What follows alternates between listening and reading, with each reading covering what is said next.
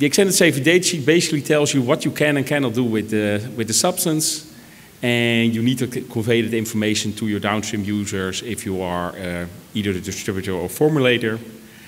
And every use that is not explicitly listed or if the conditions are different than those of significantly different than those in the extended safety data sheet are not allowed and you will have to uh, take action upon that. Uh, the other thing you need to do uh, is you need to verify uh, are the uses of my uh, downstream users uh, covered. Especially when you're a formulator, you will need to decide which information you're going to pass on. And well, if all the relevant information is present. And you need to do that without undue delay. And as we heard in the previous session, without undue delay is at least within one and a half years. And one thing you may want to look out for is the hierarchy of emission uh, potentials.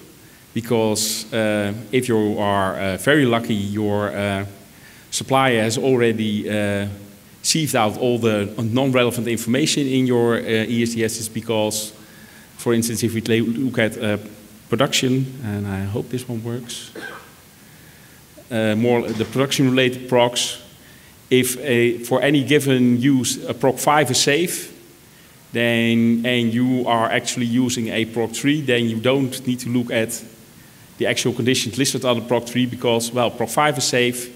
My, my operational condition and risk management measures are more stringent than that, so it's covered. And the same applies to the uh, transfer, filling, uh, or the uh, spraying and brushing activities, the transfer of substances, and well, the other broad uses. Well, what's important for scaling?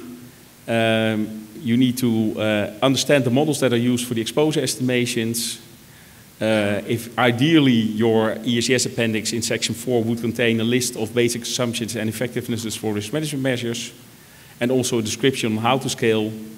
And if higher tier models are used, for instance, uh, the advanced reach model or Stoffenmanager, um, ideally you would get a link to somewhere where you can find the exact input data so you can verify if, uh, so you can make the scaling uh, yourself.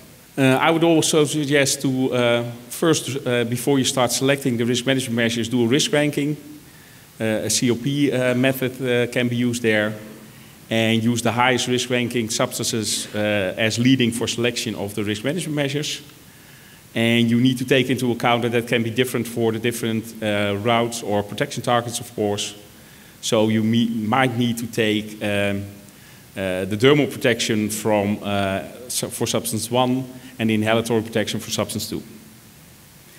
And especially for inhalation, you will need to adapt for the concentration and the volatility of that substance within your mixture. And with powders, it's even more of a problem because with powders, the availability is dependent on the dustiness.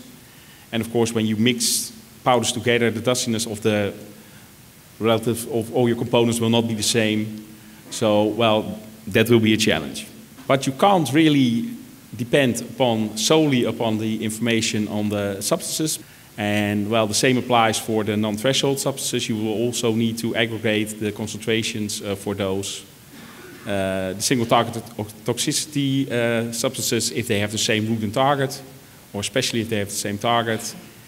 And for the general toxicity, you will need to decide upon yourself based upon an analysis of the data.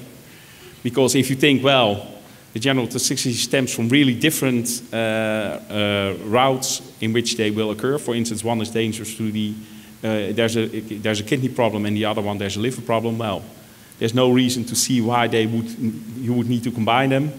But that would require, well, some detailed analysis and a high level of uh, knowledge.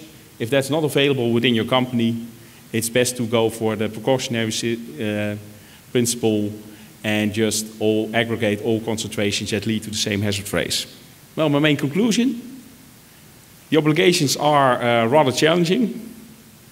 Uh, for the uh, non-exposure scenario related uh, scenarios, any informed downstream user will be able to do it because it's something they have been, have been doing for uh, decades now.